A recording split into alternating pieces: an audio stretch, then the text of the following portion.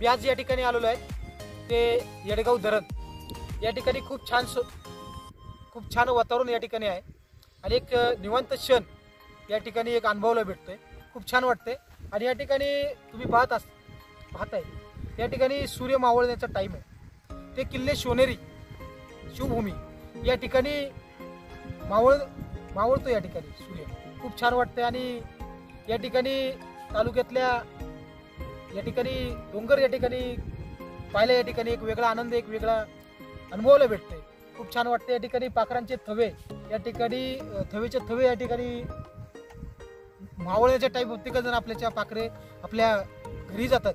एक वेगळीच वातावरण एक वेगळी शांतता या ठिकाणी अनुभवलं भेटते आणि खूप छान वाटते एक निवांत क्षण खरंच पाहायचा असेल तर येडगाव धरण हे एक धरण हे अगदी एकदम शांत वातावरणामध्ये पाण्यासारखं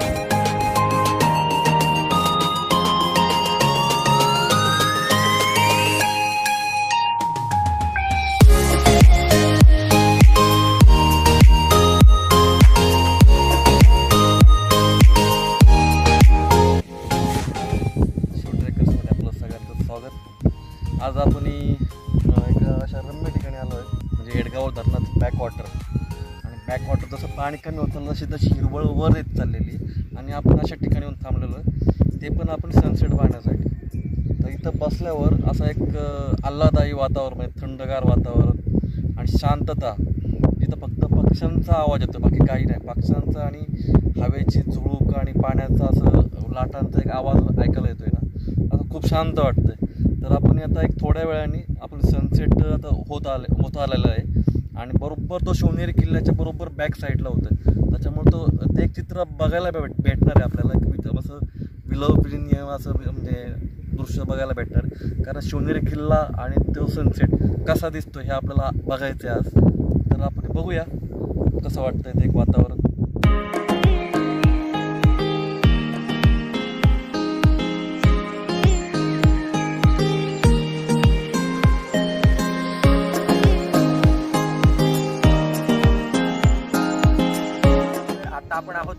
धरणावरती या एडगाव धरणावरती आल्यानंतर एडगाव धरणाचा जो परिसर आहे खूप सुंदर विलोभनीय आहे. आपल्याबरोबर आज आपले मित्रमंडळी आहेत. मी एडगाव धरणावरती काय येत असतो परंतु आपल्या मित्रांना या ठिकाणी यायचं होतं. त्यामुळे आज मी त्यांना घेऊन आणलं त्यांनाही देखील त्यांना देखील हा परिसर खूप आवडलेला आहे. या ठिकाणावरून तुम्ही जर पाहिलं तर सह्याद्रीच्या ज्या रांगा आहेत सह्याद्री पर्वतरांगा ज्या आहेत तर हा परिसर आज महत्त्वाची गोष्ट अशी की सूर्य ज्यावेळी दक्षिणेकडून उत्तरेकडे जात असतो त्यावेळी हा सूर्य आत्ता म्हणजे या महिन्यामध्ये छत्रपती शिवाजी महाराजांचं जे जन्मस्थान आहे तिथे शिवनेरी शिवजन्मभूमी छत्रपती शिवाजी महाराजांचा शिवनेरी जो किल्ला आहे शिवजन्मभूमी त्याच्या पाठीमागच्या साईडला हा जो सूर्य होता हा पावलणार होता. आणि हा जो अनुभव आज अनुभवणारा होतो आम्ही खरंच खूप सुंदर होता. आणि हा अनुभव आता आम्ही घेतलेला आहे. त्याचबरोबर या ठिकाणी आल्यानंतर हा जो परिसर आहे या परिसरामध्ये सुंदर अशी शांत म्हणजे शांत हे ठिकाण आहे. आणि या ठिकाणी